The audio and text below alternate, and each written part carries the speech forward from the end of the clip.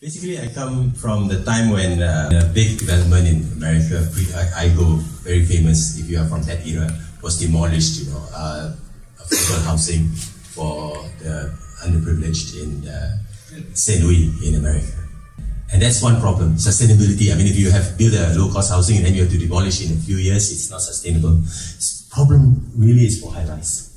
Because, uh, you know, studies from all over the world, and this is a, a meta study, they looked at 130, almost 130 uh, studies over 60 years.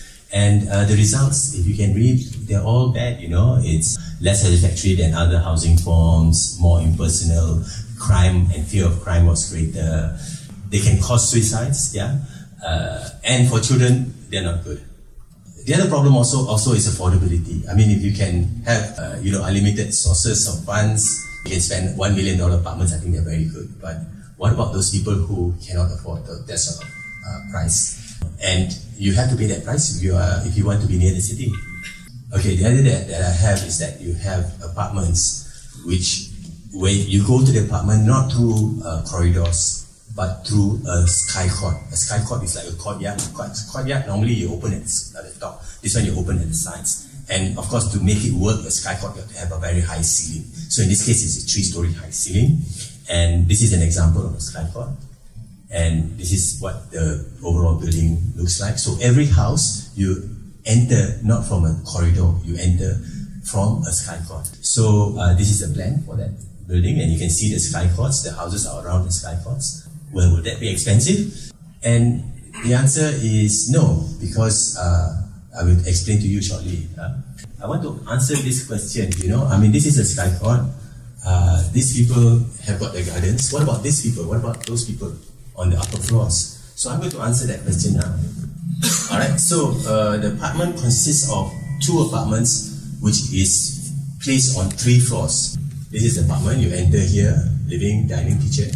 One apartment, you go up to the bedrooms on top, which is this one. The other apartment, you go down to the bedrooms below. Look at this one. This is the apartment you know, one going up, one going down, all right? And this is looking from the side. Then if you stack one on top of the other, you get a three-story flat. Let me show you one more time. So this is the apartment. You enter living rooms down here, bedrooms on top. Another one, apartments here, and the bedrooms downstairs. So the living rooms are all on this floor. Some of the bedrooms on top, some of the bedrooms below. So three stories, two apartments. There is one module, you put one module on top of the other, you see that you've got a three-story courtyard.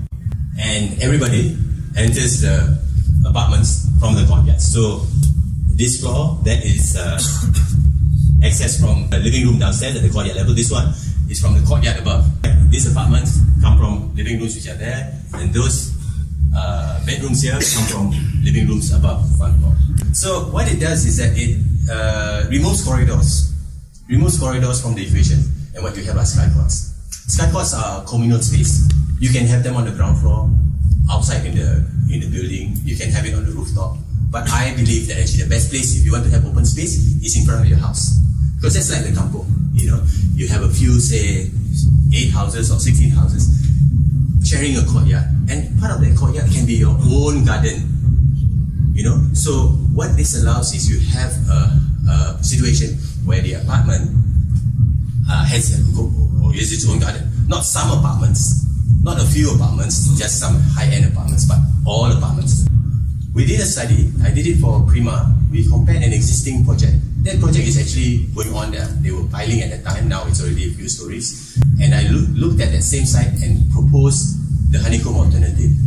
Okay, why do we do that? I mean, I'm not going to get a job because they're not going to demolish the existing building. But what it is that we wanted to use the uh, information that they have on that existing project, the BQ, bills of quantities, and we want to compare the two alternatives and what were the what would be the difference. So let me just show you first. Uh, this is the conventional plan. All right, it's uh, a car park, apartments, uh, amenities, green areas, and this is the what my building looked like. Shorter, much shorter and it consists of uh, five blocks of apartments, much shorter. The previous one was 16 stories, this is only uh, 9 stories. All right. All the ground floor was used for park. So there was no multi-level car park. Alright, so this is the floor plan, typical floor plan of the, this is the podium level, podium plus one, that is the level on top of the podium. This is the typical courtyard level, this is the courtyard, the, the bedrooms on top of the courtyard. And previously, these are the bedrooms below the courtyard. Uh, this is the car parks. All instead of putting on a six-story block, we put them all on the ground floor. All right. So we did a comparison. Let me tell you the comparison: two 15-story apartments and a separate six-story car park block with amenities and facilities. Uh, but we have nine, uh, five nine-story linked honeycomb block apartments. We call them honeycomb, uh, with facilities and entrance on the first floor of one block and car parks all on the ground floor. So one tall proposal, one short proposal, one had uh, a lot of multiple, multiple levels of car parks. The other one had only one level of car park. The size of the lot and the uh, and the cost of the land is the same. The gross floor area about the same, 179 uh, square meters. You know, this one ours was 177. But you know the net sellable area because we had no corridors and there were other tricks that we used.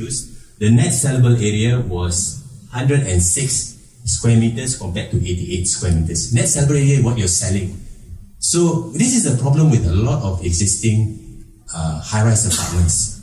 You you maybe have 1,000 square feet of your internal area, the, the house that you build, but to service that 100 square meters, you need another 100 square meters of car parks, corridors, lobby spaces, and all that. So that is, you know, it is. Uh, if you think about it, it is actually very inefficient. You build 100, uh, you build 1,000 square meters total built-up area, but you can only sell 50. Sometimes it's even less than that, you know, conventional. So in our case, we have 60%. so in this example, the conventional had 49% efficient. You see, we were 60%. The apartment uh, initially was 15 stories. Now we have put it down to 8 stories. So, you know, when you have a shorter building, you are more, I think it's more humane, but it's also less construction costs. Car park floors, I hate multi-level car park floors. So we just have one car park floor instead of six uh, number of lift stops. With this uh, arrangement, you don't need a lift on this floor and on this floor because this is like you know the upper floor of your of the upper floor of your house. So you don't need to have a corridor to a, to the second floor of a terrace house.